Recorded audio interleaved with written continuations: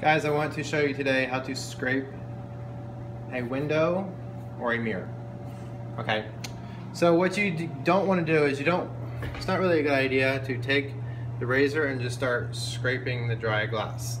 What you want to do is you want to take a wet mop with soap. Okay, see like that. And once the, win once the window mirror is wet, you take your razor blade, it should be pretty clean, and you go ahead and you scrape forward. Okay? It's not really a good idea to go ahead and start scraping like backwards if your razor is really dirty. Um, I say dirty, but it's actually, um, let me take that back. If it's like really rusted or like dulled up, it's not a good idea to use it, okay? So you will go ahead and you do a forward motion like that. Now it does take longer when you have to use a razor blade on a window and you need to understand that there is the possibility of scratching a window if you are using a razor blade.